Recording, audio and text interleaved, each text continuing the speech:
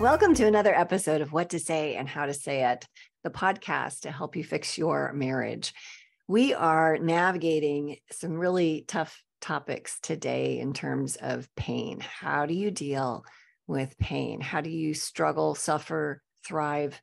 Oh, that's a high, tall order through it. you know, we're supposed to have joy as Christians all the time. Like, I'm not perfect at this, but you know what? If we don't get better at it, we run the risk of losing our testimony, even our faith. The dark night of the soul. Let's get into this. We are talking with our favorite licensed professional counselor, Kyle Hargrove, who's been on planet Earth for a minute with me. Well, not together. He lives in Texas. Way down here. Way down there. I'm a Midwest girl at the moment. I still have a hard time claiming that from Montana, but nevertheless, we've been on the planet a minute, which means if you've been on the planet a minute, you've suffered too. You've struggled. You've had pain in your life. And so we're going to talk about not so much physical pain, although that will probably come up because we both have that too. And so have you. um, but more so, you know, what does it mean to be long suffering? How do you navigate suffering well? So, Kyle, when when we talk about the topic of pain, when you think of you know how you minister, how you love your clients well in this space, you know if you if you would have a goal for them uh, what do you think that would be I, I don't think it's fair that you ask a question of me about how I navigate something well when I'm not sure that I do. Oh, or, or I was really I, hoping. or that I ever have. So, uh. you know, I'm I'm uh, I'm claiming resentment right now. Oh, okay. okay. Thanks for admitting that. That's bold of you. Um, I'll work on all of that whole thing. No surprises next time. But it, honestly, though, I mean, you're better. We're both better at suffering than we, we were probably 30, 40 years ago, right? I mean, that's fair, right? I agree. Okay. So, granted, neither one of us are probably arrived. You're more humble about it than I am, probably true. Um, what do you think is the difference between you 30, 40 years ago and you now when it comes to pain and suffering and how you handle it? Well, we're definitely going to go with the emotional side of this because I think the physical side of it is self evident. Um, there's a lot more of it. oh, mm-hmm. and that, that there doesn't always seem to be a reason for it. Um, you know, how many days do you wake up in the morning when you're, uh, you know, when you're in your 50s 60s and, and beyond that uh, something hurts and it's never yeah. hurt before and you didn't you don't remember doing anything to it uh, I, uh, you know i haven't jumped off the second story roof in quite some time and yet it feels like i have. Yeah. Um, that's that's not fair but it's reality. But i have to say in uh, in regard to uh, emotional relational living life pain that the way it looks and uh, and lives out now is considerably different than it was you know uh, when you're in your 20s or your 30s maybe even your 40s um, it, it it doesn't seem quite as unfair now as it did then. Mm-hmm. i'm not saying i like it anymore. Right but I, I think after after living a few decades as an adult and uh, you know and believe me I, I, ratcheted my maturity up very slowly. It did not happen a, a, lot and in a hurry when i was younger. But with some maturity and wisdom behind you you recognize not only the need for the pain but you recognize the reasons for it. Mm-hmm. um, it doesn't make it feel any better but you know, we talk a lot about being able to to name and to normalize the things that we're dealing with so that we can either learn to rinse and repeat hey that felt good and, and i want to do that again i want to have that feeling more mm-hmm. often mm-hmm. or you know embrace painful emotions yeah so that we we a know a bit more about them perhaps why they're there and be able to hopefully avoid them in the future. Mm. No, that's that's good. Understanding the source, the wrong thinking patterns, the desires, the longings. Some of them are healthy, some of them not so much. And yeah, yesterday, uh, huh, I've been in a long season, too long, my opinion. God didn't seem to ask me about what I thought about this length of season. Um, you know, I've lost both of my dogs in a four month span in the last six months. And people be like, they're dogs. Well, I had one of them for nine years, the other for 12 almost. And they are part it, like if you're a Roesner dog, you are a blessed creature. Like yes. no joke. They are pampered, they are cared for, they have conversation. We do it well. And I'm not one of these people that dresses my dog up. They're big dogs. You don't do that with big dogs. Right. Be if I had a small dog, like I might consider that because kind of sweaters. Like I could maybe be that person. I don't know, but I'm a big dog person, and and I didn't I didn't sign up for this. Like it didn't occur to me how much this was going to hurt losing those two. And and then there's been all this other stuff on top of that that I'm not going to go into. But there's been like and the and the dailiness of the illness of one of those dogs. And we kept having hope and then it kept getting dashed and hope and that, you know. And um if you've been listening to the podcast for a while, you might be going, is she still talking about her dogs? Yes, I am, although I'm much better about it. Um, but I had a, a, sweet friend of mine yesterday. Um, you know, I was talking to her about another um, painful thing that happened recently. And she said to me, Nina, sweetheart, I'm just going to preach some truth to you right now. You need to die. And I, I, I like and took breath very quickly, like Wait, what? What? yeah, I had a moment like, like you know, I hadn't really entertained those thoughts just yet, but thanks for putting that out there now. Like, and I said, um, okay, care to tell me more about that? And she goes, Nina, you know the Lord is good. You know He has a word for you in this. You know He is pruning you. You know He has called you according to His purposes. You know, she starts all this you know stuff, and I'm like, and she's speaking scripture at me, and I'm like, it part of it is reassuring, and the other part I just want to choke her, and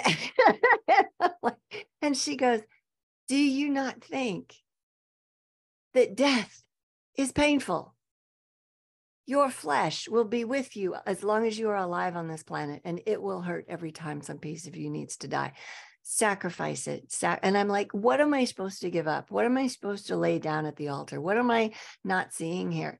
You know am i supposed to and i'm there's this thing i want that may it looks like i'm gonna get and it, i'm thinking it's in alignment with a gift that god's giving me and i'm really struggling with this whole thing and every time i go to him he's like no nina this is my gift for you. So i'm so confused over it. She goes nina it's not the gift, it's your desire for it. That's what needs to die. I felt like I just got boom, you know, blown up. ah. Oh, wow. Yeah, wow. Yeah, wow. Yeah, way, yeah, wow, right? Ooh, that's a good one. Yeah, so so I took a deep breath and I and I thought of Eve and the curse. The desire will be for you know, in that case, it was her husband. Well, how many desires do we have for, you know, and it's the same kind of controlling, longing, gnawing that the, you know, crouches at your door waiting to devour you kind of thing. And I was like, oh, you know, did I step into that? And I think I did a little bit. So, as painful and awful as it is to hear someone say to you, you need to die, she wasn't wrong. That thing needed to be put to death. So I'm going to have a ceremony. I'm not inviting anybody to it. Like it's instead of a pity party, you invite all sorts of people to those things. But I'm not. I'm not inviting anybody to it. I'm going to have a little thing this afternoon, um, and I'm I'm writing all of the desires around this thing on a piece of paper. I'm going to set that on fire in my oh, backyard. So, I'm so glad to hear you talk about the use of fire because you know I think ceremonial things yes. like this require using fire and or chopping something down so it's it's kind of a guy thing but i have uh, fortunately uh, a yard you know, blessed with with many many shade trees to the point that we can't grow grass but uh, it, it i think is is very similar to this process you know it's a pruning thing mm-hmm. you know, dying to ourselves. And, you know, Peter tells us a lot about this because he struggled with it so much. Oh, me too. And, huh. and dying to ourselves, uh, in, in other words, you know, uh, eliminating or abandoning our own desires. It's, it's an unnatural act. It's, mm-hmm. it's not something that's in our DNA. It's something that's in God's DNA. Yeah. And short of him being in us, we're not very good at it and mm-hmm. sometimes even with him in us, we're not very. Oh man. So. well, and don't you think that's the space where, like, we're missing it? Like he's in us, but he isn't in this space. Like that's that little thing right there. And you know, you bring up Peter. I you know I think of Peter and Jesus and that conversation where Jesus is all and and this is my hippie version of Jesus, but because I, I watched Jesus Revolution with Jonathan Roumie from The Chosen. And I'm like, yeah, it's my hippie Jesus. I'm kind of a hippie girl. So anyway, this speaks to me. Probably don't need to say any of that. But anyway, so Peter Jesus having the conversation and and Jesus is all, hey, Peter, you know, you're gonna go do the thing. But and and Satan's asked to sift you. But don't worry, I've prayed for you. And I and I rem, I, re- I read that and I go, why didn't you stop that? Like you you're you prayed for him like why didn't you like yank satan around and go hey dude like we had this conversation like you don't get to rule stuff and you yeah. know i'm in charge you know sit down shut with this guy like he could no he's prayed for you. Okay. Satan's asked to sift you. Hey which what is that? That's a warning. You you're gonna go do a thing for me. By the way it's gonna suck. Okay. And then i've prayed for you. I'll be with you. It'll be fine.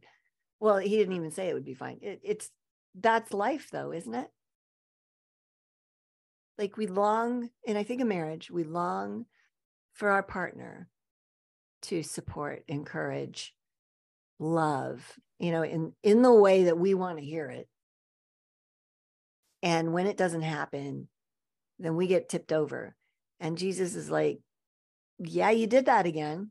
When are you going to learn? Like, you haven't put that to death yet, have you? I hate that. Think we lost everybody at this point? I doubt it. I okay. imagine they're probably sitting on the edge of their seats saying, What's going to be next? Yeah. How do you but recover I, from that? Yeah. It's it's interesting we're talking about this today because um, it seems to have been a common theme of late in in in my virtual therapy office about the amount of control that we feel like we need to have over mm. our own lives and unfortunately over the lives of others. Mm-hmm. And for a couple of clients, just as recently as two and a half hours ago, uh, we're having this discussion and talking about when does it when does it seem like I'm going to be able to stop trying to change the things about other people that cause me emotional pain and instead adjust my expectations. Mm-hmm. You know, the body of work shows that this is an issue. the body of work also shows that no matter how hard I've tried to change somebody else, it hasn't worked. Right. Why would I continue to stay in this place of of you know of mm-hmm. being hurt carrying the hurt around, of agonizing over it. Um, but what I have to do is um, I have to die. I have to lose my desire to control and change situations and people. And again, not in my DNA, but it's the thing that it's the thing that happens. You know, uh, the story that I remember so vividly hearing someone talk about, and I've, you know, I've thought about this thousands of times since I heard the story about Moses and Pharaoh and the, the dance that they did for so long, back, back and forth, you know, uh, you know, b- based on the plagues in, in, in Exodus. Mm-hmm. And they went back, you know, the, the, the water turning into blood, the locusts, the pestilence and famine and all those things and and and each time that God would send a plague, Pharaoh would call in Moses because he knew that Moses was God's man. Mm-hmm. And he would say, Look, we really can't live with these locusts all over the place. you know, it's is a problem. They're eating the crops. They're, you know, you know, talk to your God and see if maybe he can call this thing off. And Moses would say, Well, the reason this happened is because you've hardened your heart to God. Okay, okay, I will, I'll fix it. I'll fix it. Just ixnay the okaslay, mm-hmm. you know? And so the plague would end. Pharaoh, of course, made no changes. He didn't soften his heart toward God. And so another plague would come. But the one that, that catches the attention, if you look at it real close, is the plague of the frogs. Yeah. you know, I don't, I'm, I'm Gross. not God frogs. However, remember where we are. It's Egypt. Yeah. Okay. Uh, climate a bit on the warm side. Yeah. Okay. So when you get frog flesh everywhere, nasty, it's covering the ground. You know, it's in the microwave ovens and the refrigerators and everything. I mean, you can't open anything or go anywhere. It said the frogs were even in the bed with the people when they tried to sleep. It's so nasty. And so, you know, Pharaoh calls up Moses, you know, hey, hey, get over here. We got to talk. You know, so Moses shows up and Pharaoh says, we can't live with the frogs. This is absolutely unsustainable. Moses says, God would have you soften your heart toward him. Okay, okay, fine, I'll do it. I just get rid of the frogs. And then Moses this time asks an interesting question. He said, When would you have God remove the frogs? And Pharaoh says, how about first thing in the morning? Moses tips his hat, walks out. First thing in the morning, the frogs are gone. This is an adapted version, of course. Here's the question though why would Pharaoh choose to sleep with the frogs one more night? Yeah, like that makes no sense. Yeah, but he did. You know, so I, I, I use this story to talk about some of the things that, you know, the pain that we carry with us. Mm-hmm. And it's chronic. We've been carrying it, carrying this load for years and maybe even decades long. Mm-hmm. And we don't have to. But we're used to it. Why do we choose to continue? Mm-hmm. Why would we see sleep with the frog, whatever your frog is today? Right. Ew. Why would you choose to sleep with that frog one more night? Yeah. You know, and pain is often that way emotional pain. Mm-hmm. Physical pain, something sometimes there's not a lot we can do about it, or we have to wait for Medicaid to come through, or whatever it might be. But the emotional pain, there's almost always, well, there is always, you know, if we're if we're casting our cares onto Him, yeah. Okay? The ability to at least lessen the burden, mm-hmm. but maybe even to remove that burden, either by what you talked about earlier, you know, cutting back on the desire, mm-hmm. you know, working real hard for something, but maybe it's not the right thing. And then on the other hand, is changing our expectations rather than trying to change people. Mm-hmm. No, that's good. And that's getting rid of some frogage. Yeah, it, my word. yes, those those two things together, you know, make a pretty solid plan for people. I think, and it, the hard part for a lot of people too is that they're so accustomed to living in it that they don't know what living outside of it looks like. Mm, yeah, we call that becoming best friends with our pain. Mm-hmm best friends with our worst habits. Yeah. And at least we know what to expect. Mm-hmm. And surprises are the things we like the least. If I try something new, if I step outside this zone of, it's not necessarily comfort, comfort, but it's a zone of expectation, and I know what to expect. If I step outside of that, there may be surprises, and I don't like surprises unless it's my birthday. Yeah. No, that's Which, by the way, honey, if you're watching or listening, my birthday's next week. So well, happy birthday, Kyle. Well, I think I don't know if she's watching or listening, but I don't really care about birthdays anymore. But You get to Uh, a certain part uh, of your life, and it's like, yeah, can we go backwards? Can we go the other direction? yeah. Can I be 27 like again and again and again? Uh, I don't know if I'd pick 27, maybe 37. I could deal with that mid mid thirties, Yeah, yeah, yeah. Something like that. And I just took us completely off our train of thought, That's okay. Yeah. and I don't remember what train we were on. yeah which train was this expectations and um laying down the desires which you know can be similar but also different at the same time like they're nuanced Mhm. How did I get there. on my birthday? What the? i know right like that's what happens for all of you who are not over 40 this day will come to you just saying and then you'll be like oh i remember they warned us like it's real it's real Yeah. Yeah. Help us, So- Yeah. Oh gosh.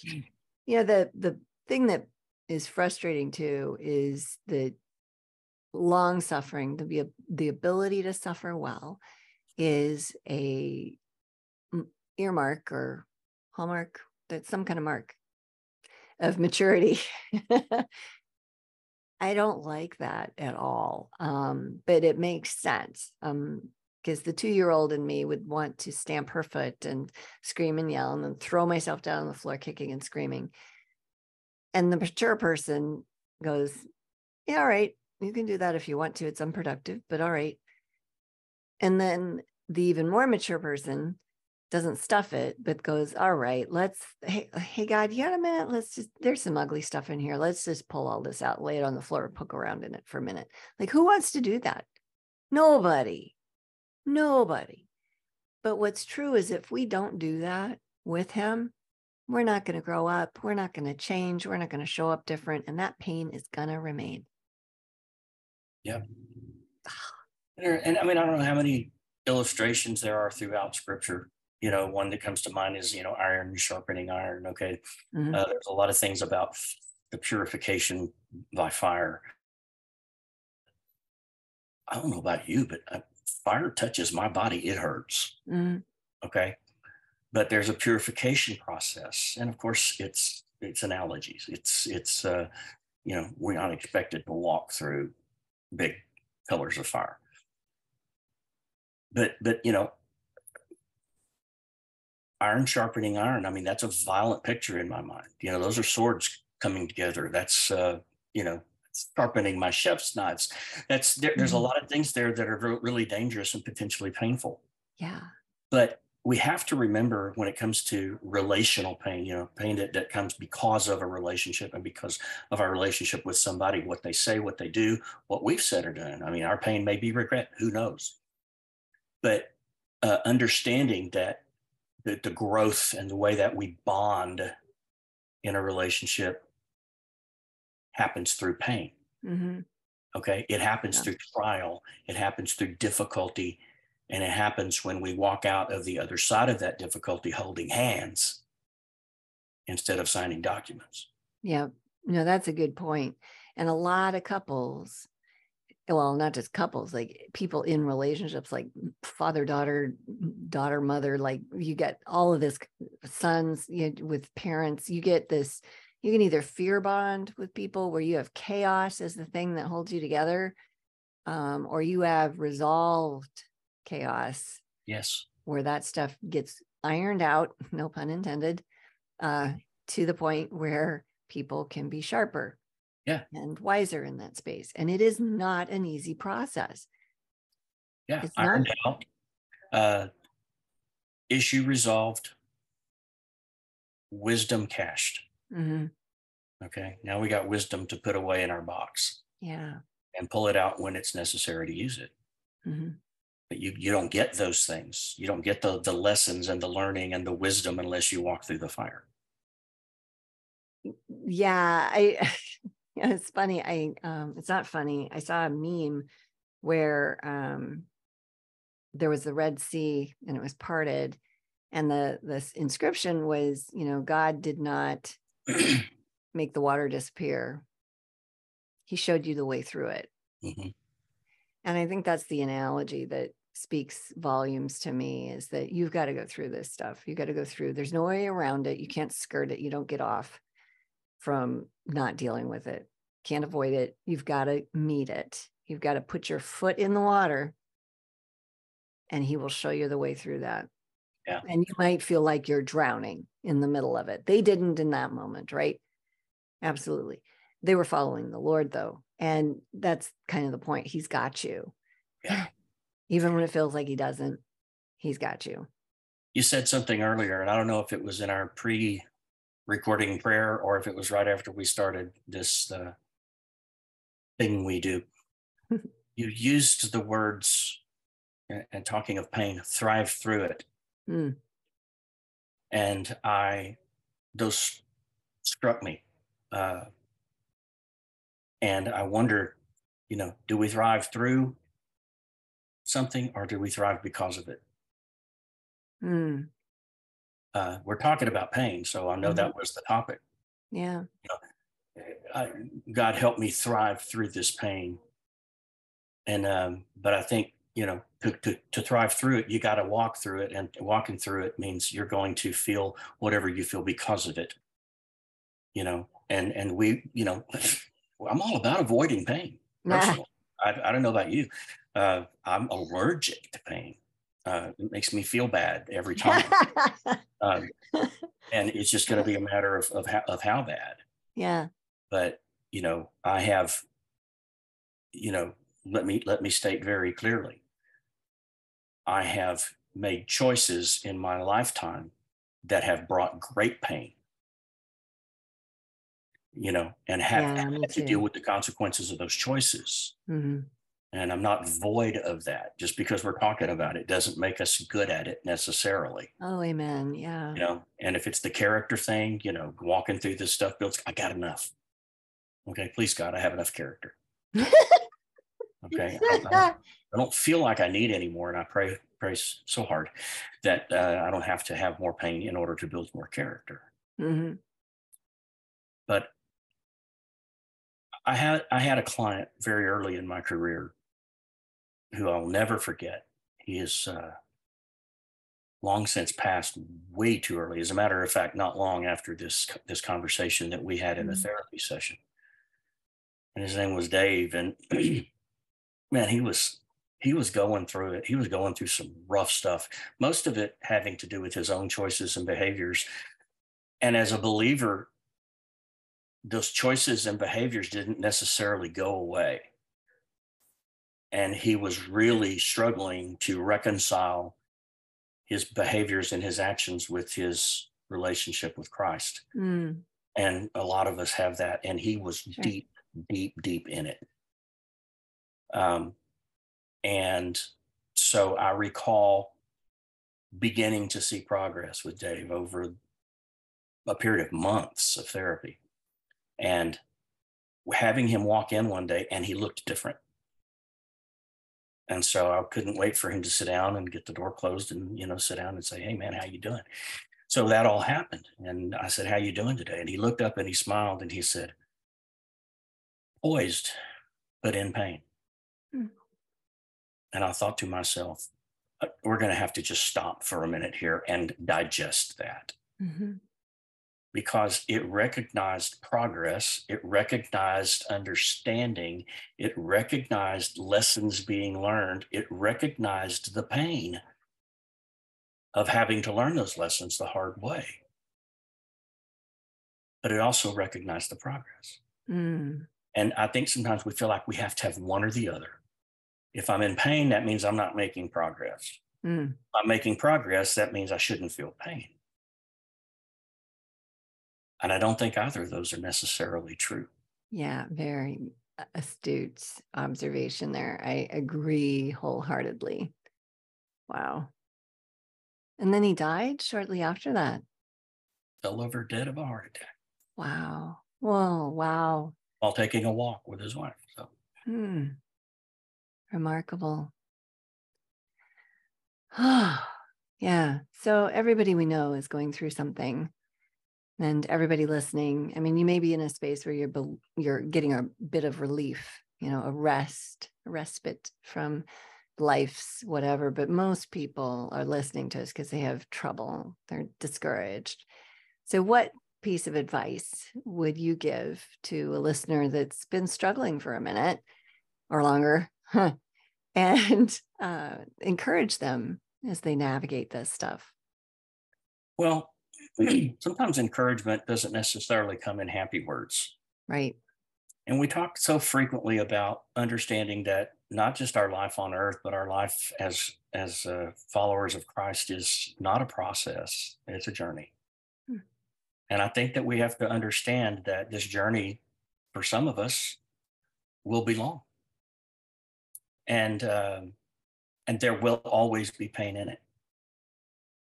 Always, there'll be there'll be pain for lots of different reasons uh, not always having to do with our choices, but sometimes the choices of people that we love and care about very much. Truth. Yeah.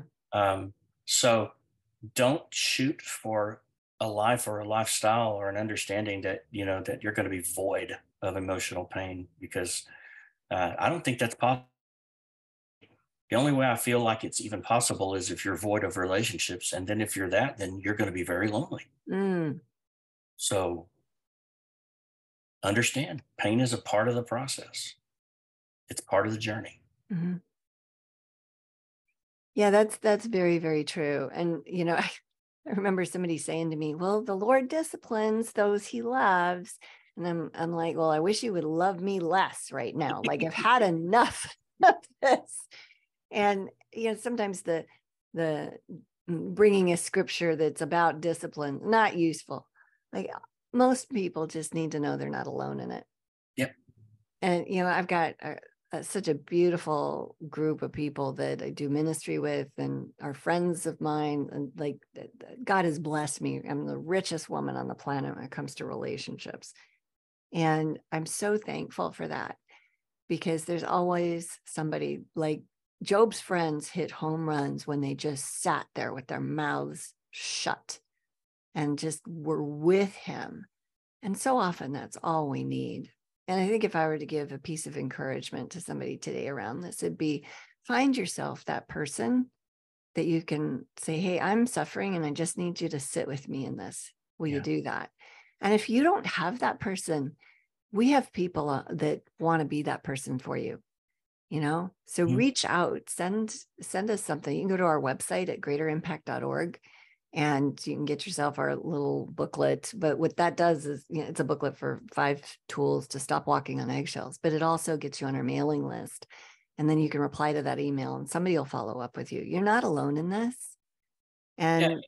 And if you're not the person that needs that other person right now, then be that person. Ooh, yeah, good. Because because God never asks us for our abilities; He asks us for our availability. Mm. You know and that may just mean sitting with mouth closed holding someone's hand. Mm-hmm. praying with them not you know praying silent whatever it, up. Mm-hmm. that's the that's the hardest part is just showing up. God will take care of the rest. It's it's not it's not that hard. That's awesome. Beautiful and I just want to put in a little plug for our women's conference that we do every year strength and dignity it's coming up in may uh, eh, people form lifelong friendships at this thing. So I want to encourage you, ladies, if you're not mm. signed up for it, go to the website, get signed up because it is something worth doing. People stay in contact afterwards. We have a group for you in our um, social media site, uh, our membership site. So please, please, please consider joining us in that space. Um, but I want to yeah, go. Uh, I love you, and no. there, there'd be things that would have to dramatically change for that to be possible. But Danny is welcome to come. Your wife, okay, she, yeah, right. she, yeah. That well, I don't want to have to endure the pain it would take for those things to change. So, um, and you would still not be what you are now. Well, that's a whole other topic, sir. But Boy, anyway, yeah, Jesus loves you just the way you are, and that's all I'm going to say about that. And that's like I've uh, opened the politically incorrect can of worms at this point, but that's okay. Um, send me hate mail. I don't care. Um, the bottom line here is you're not alone, regardless. We love you regardless where you're at. And um, we want you to know that uh, pain is inevitable and what you resist persists. So embrace that. Know you're not alone. Jesus is with you and you are wildly loved by him and by us. Let us know if you need help. Thanks for sh- stopping by today. Be sure to um, check out other episodes around conflict, and uh, you too can change your huh, stressed out broken marriage. Love you guys.